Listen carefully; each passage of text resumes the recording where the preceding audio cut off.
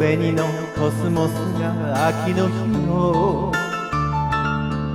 何気ない日だまりに揺れているこの頃涙もろくなった母が岩崎で一つ息をする縁側でアルバムを開いては私の幼い日の思い出を何度も同じ話繰り返す。独り言みたいに小さな声でこんな小春日和の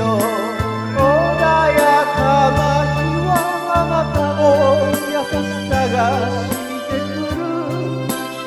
明日とすぐ私に苦労はしても笑い話に時が変えるよ。心配い。らないと笑った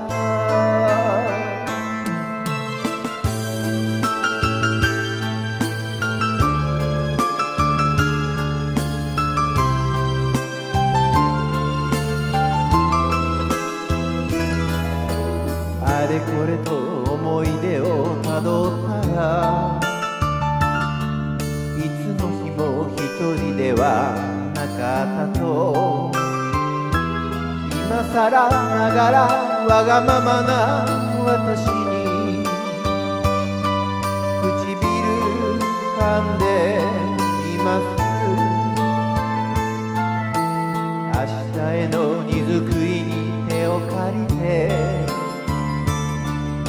ばらくは楽しげにいたけれど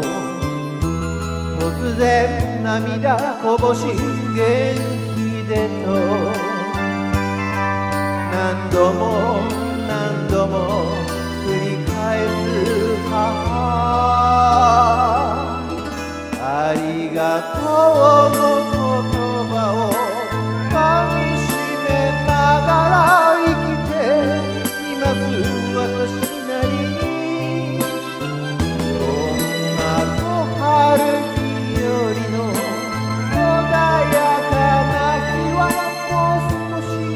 あなたの子供でいさせて